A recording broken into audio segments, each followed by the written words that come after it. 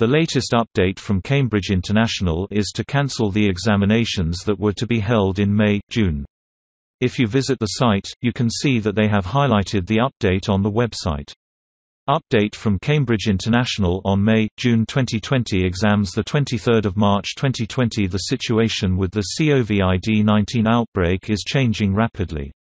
In recent days, many more countries have decided to extend school closures into May and June, making it impossible for many of our schools to hold examinations. We have been consulting closely with our global community of schools, who need as much certainty as possible at an uncertain time.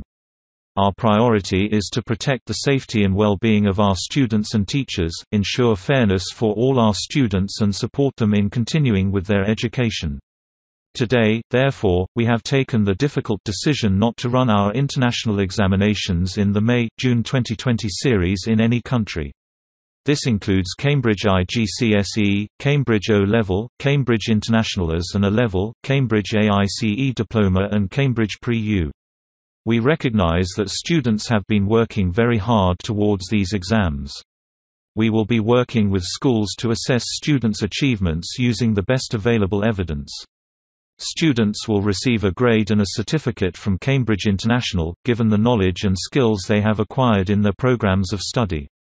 This will ensure students do not face disadvantage as a result of these extraordinary circumstances. We will provide guidance to schools on how students will receive those grades.